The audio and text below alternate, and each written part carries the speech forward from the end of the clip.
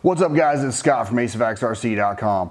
Hey, I just want to go over quickly uh, how I run my Carisma Scale Adventure uh, Coyote, the SCA1E, and also the stock configuration and uh, how it was in the stock configuration and why I changed it.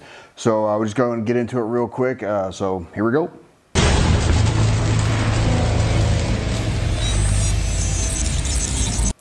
Right, so first and foremost, there's been lots of questions about how good the stock configuration is. When we went to Austria to get it certified for the G6, the only things we done to it was uh, there was weight in the front wheels and we used the LiPo because we could and we had to do long runs, obviously. So other than that, everything was bog stock. So the plenty of steering, everybody's uh, jumping on the steering bandwagon that they need a whole bunch of, um, what do you call it, lock which that's cool. If, you know, it's your rig, do what you got to do. But out of the box, I really didn't find that much problem with the lock that I already had. You turn the ATV all the way up, and I had plenty of lock for the way I drive at least, so I didn't mind that. The servo and the electrics, uh, no issues at all with them, and uh, we was running through water quite a bit. Uh, it was a pretty long stream that we had to drive down, and a lot of deep points in it. So 12 hours going through that every lap. It was uh, no issues, none at all. The motor held up just fine. Uh, again, like 12 hours. Each lap was a mile long, so 1.7 kilometers, uh, so just over a mile. But no issues with the motor at all. We didn't do any maintenance to the motor during the uh, event or anything. Only thing we did is each lap we'd bring the truck in and just make sure all the bolts were tightened. And that was it. And it just done perfect. And yeah, you only have a two, two channel on the, the transmitter that comes with, but for me, I use a, uh, a wireless winch anyway, so that didn't affect me. All right, so what I've done to my rig. Um, I've used the crate wheels, the 1.9s. These are the Sandstorms in uh, gunmetal. I also use the Hustler 4.19 um, tires in snail slime. So uh, perfect combination. I love those. And I also put the weights in these because I, I like weighted wheels in most of my scalers. So this has 105 grams in each front wheel and 84 in the back. So that's perfect for me. I love, I, I, drive for Boom. I love Boom's products. Um, I'm not just saying that, I really do. And I'll be using these crates on a lot of vehicles now because I'm addicted to them. So they just look really good. And uh, their weight system that crate has is phenomenal. I really enjoy that.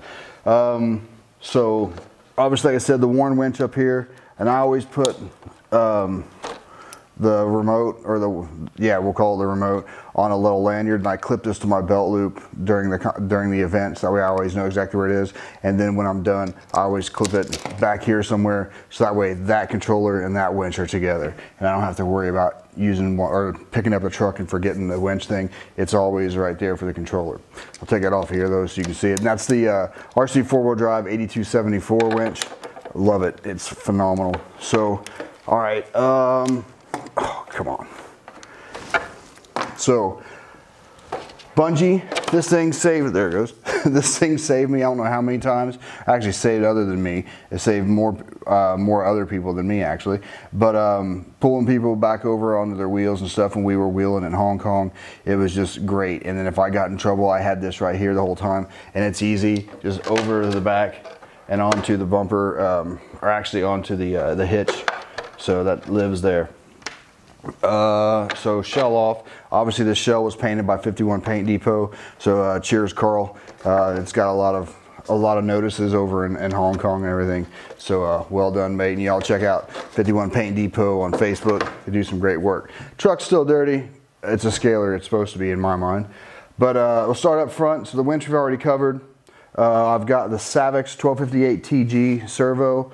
I've put I sealed around it with some RTV and I packed the inside of it with like axle grease. So like really thick grease in there just to keep the water out. So that's all I've done there. Steering, I've done nothing. I haven't even flipped the, the knuckles over so I get more lock. I get plenty. I don't have any issues with what I've got. Um, maybe when Carisma comes out with some new upgrades, i will probably end up putting those on my rig because I drive for Carisma. So when their upgrades come out, they'll be going on my rig for me to test out. And uh, so then I'll put them on. But as of right now, I'm not bothered. I don't need them. I got plenty of lock. I don't need more than that.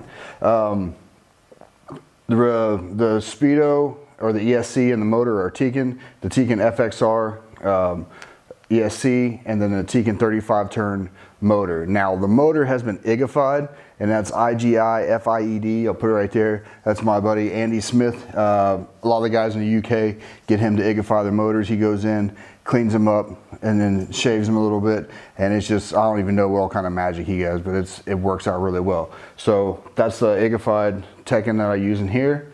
Uh, the winch controller I've just lobbed with a bunch of blue tack just to keep the water out from any of the open points. Uh, and then the receiver is a Futaba FHSS receiver that I use with my uh, 3PV radio because I use a 3PV for all the scale stuff. Battery compartment still in the back. I've got no, again, if when Carisma Scale Adventure comes out with a relocation, they'll send it to me for, so I can test it out up front. I'll move the battery then, but until then, I'm not bothered. With the weighted in the wheels, I don't need the battery up front. I don't feel for my driving style, so I'm not worried about it. Now I do have this, this is obviously on its own battery. Well, I put it on its own battery, the winch. So I've got a bit of Velcro on top of the servo and I just put the, uh, I just put the, the battery right on top of there. And about the servo, I do have an aluminum or aluminium horn on the front. So I did upgrade that part just because I, I like to have the, the alley horns on my, uh, on the scaler. So, but other than that, I think that's it. That's the only thing I've really updated. I still got the stock shocks, which a lot of people say they don't, you know, they don't look completely scale for them, and that's cool and all that. Uh, but for me, they work really well for comp, and uh, I've had great success with it in Hong Kong, so I can't fault it. Another thing I want to hit on is the shock towers. Uh, a lot of people say that a lot of people are putting braces in here and that's cool. Um, I don't do it and I'll tell you why in a second. Uh, and then they brace the back or whatever, but I don't, I don't, again, this is only opinions. You all do what you want. It's your rig and you know what you like. You know what works for you. But for me, if you have the holes in here are already cut where these, this was a clear cell. So I cut them exactly where the factory marked them. And when you put that on, it puts the stereo, it puts the shock towers out exactly where they're supposed to be. And that's just as, just as good to me as any kind of brace you'll put in there. Once those go out like that, it works fine. So I don't have an issue with it. But if you still, if you feel a need to stiffen yours up that way, go ahead. I'm sure there'll be comments below, people bashing me for not, for saying that it's the same thing. But for me, it works just fine just using the body to hold those out. Because everybody thinks that they fall in, but as soon as you get the body on, they go back to wherever you got the holes in the body. So I got no, no issues with it. Um, just, yeah, I love this rig. Obviously, uh, I've done drove it in Austria. Uh, in the UK Scaler Nationals, I drove it there. Then Hong Kong, I took it and actually competed and uh, won the veterans uh, small tire class. I had no issues with it over there. We had a blast, and all the guys that we were wheeling with, they were really impressed with it as well. And a lot of people have a go with it.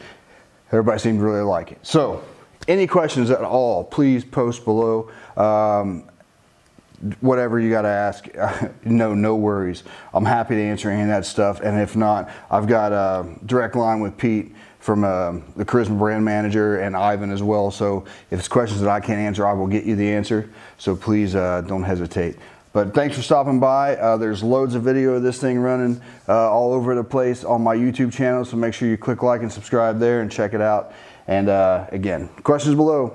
Thanks guys. See you on the trail.